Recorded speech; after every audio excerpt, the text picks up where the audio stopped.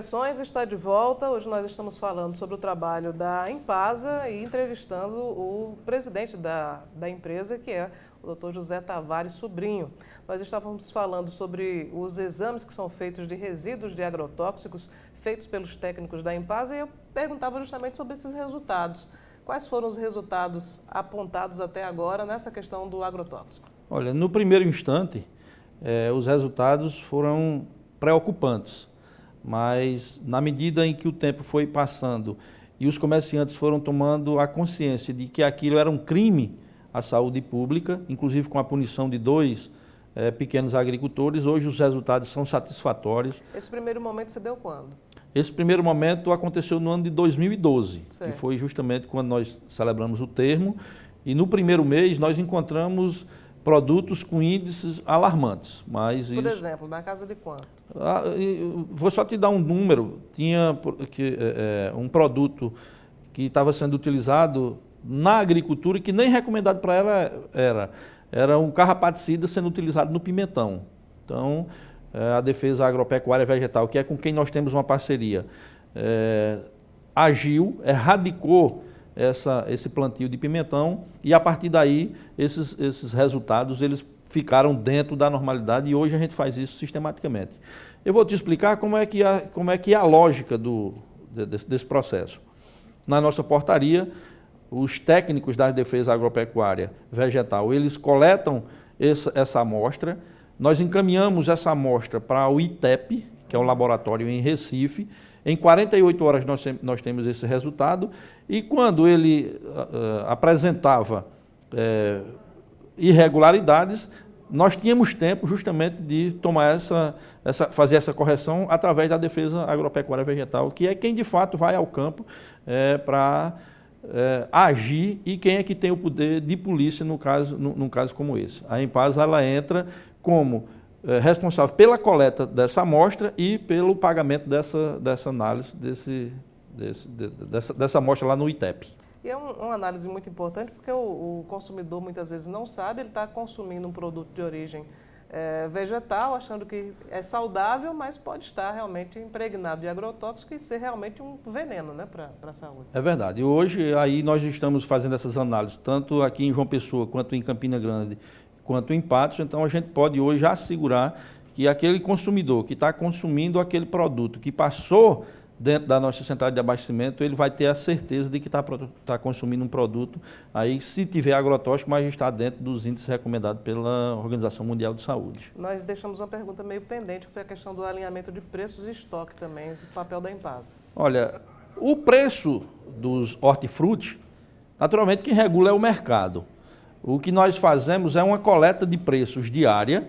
Nós alimentamos o nosso site, né, que é o www.empasa.pb.gov.br, e lá nós temos um, um, um link que ele dá a cotação diária. Então, o, o, produtor, o consumidor, antes de sair de casa para fazer as suas compras ou para fazer a sua venda, ele vai ter lá o preço mínimo, o preço médio e o preço máximo daqueles produtos que lá são comercializados. Então, isso é uma, um papel importante, porque aí a gente acompanha essa oscilação de mercado, que, como eu disse, quem, quem, quem regulamenta é justamente a procura e a oferta.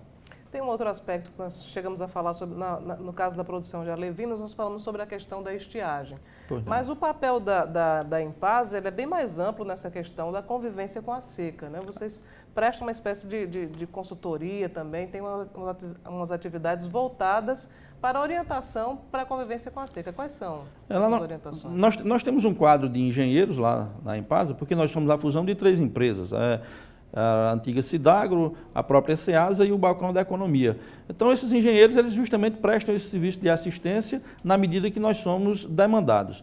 Então, afora isso, nós temos também um programa que é específico da Empasa, que é a venda de ração subsidiada para o pequeno produtor. Então, desde 2012, quando agravou a questão da estiagem, o governo do estado, o governador fez uma suplementação orçamentária e a gente vem tocando esse, esse, esse programa até hoje. É, da seguinte forma: nós compramos a, a silagem e o proteico e repassamos para o pro produtor com um desconto de 50% daquele valor de mercado. Doutor Zé Tavares, como é que o senhor avalia a sua gestão até agora na, na Impasa? Quais foram os principais objetivos que o senhor conseguiu alcançar na empresa? Olha, o que nós fizemos, e aí é, eu me dou por satisfeito, é a questão isonômica. Nós, nós praticamos a isonomia, nós tratamos tanto o pequeno comerciante como o grande comerciante é, de forma igualitária. Quando nós chegamos na Empasa no ano de 2009, nós percebemos que no mesmo espaço é, haviam tarifas diferentes de termo de permissão remunerada de uso.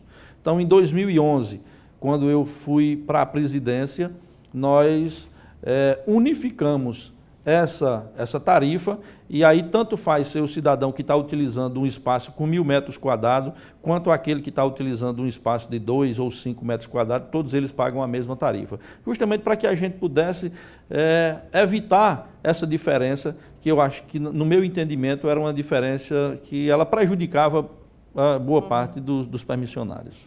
A crise econômica afetou de que maneira as atividades da Empasa ou não afetou? Afeta porque é, o dinheiro é quem movimenta tudo isso. E nós, de, de modo muito mais drástico ainda, essa questão da estiagem, porque na medida em que essa oferta diminui, o preço cai e o consumidor é quem finda, finda pagando essa, essa conta. Para nós, como gestão, o que a gente sente é a redução é, da movimentação nas nossas portarias. Então, na medida em que essa redução acontece, com certeza o, a oferta ela está sendo também diminuída. O que a gente pode garantir é que não haverá desabastecimento, mas estaremos sempre ligados, antenados nessa questão para que o, o, consumidor ele não possa sofrer tanto essa variação de preço. Por isso que nós colocamos esse preço máximo, médio e mínimo nas nossas, na nossa página, para que ele possa justamente fazer essa regulação e também ao, ao, ao se dirigir para fazer a sua compra, ele possa justamente já saber o preço e fazer ali a sua pichincha.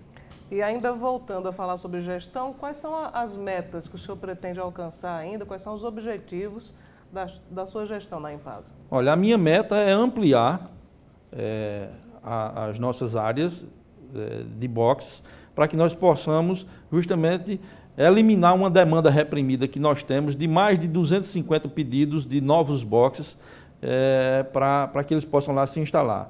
Então, a nossa meta é justamente fazer uma ampliação das nossas três centrais que estão é, já em funcionamento e a criação da de Guarabira e a de Souza. E essa, essa meta o senhor pretende alcançar em quanto tempo? Tem um planejamento aí para isso? E outra pergunta, esses 250 uh, eh, novos boxes serão para atender paraibanos ou pessoas de fora? Não, são todos, esses, uhum. esses 250 são todos de pessoas da Paraíba. É porque, por exemplo, um cidadão de Fortaleza que nos procurou para vender flores aqui, para melhorar a logística dele, nós já permitimos que ele instalasse lá é, containers e ele já está fazendo essa, essa comercialização. É, e como é que nós vamos alcançar essa meta? Isso nós temos é, solicitado emendas aos deputados federais e aí o deputado Efraim Filho já no ano de 2015 ele destinou uma emenda para a nossa unidade. 2016 também já um outro, um outro quantitativo, justamente para que a gente possa ir utilizando esse recurso nessa ampliação. Além, é claro, dessa parceria privada que eu acho exitosa e já está acontecendo efetivamente. Muito bem, eu queria agradecer muito pela sua presença aqui, pela entrevista, falando também sobre as questões relativas à Empasa. Ah, sou eu que agradeço pelo espaço e dizer que nós estaremos sempre é, à disposição para quaisquer questionamentos que digam respeito à, à nossa gestão lá na Empasa. Muito bem, Impressões de hoje vai ficando por aqui, agradecendo pela sua audiência e voltaremos mais uma vez na próxima semana. Música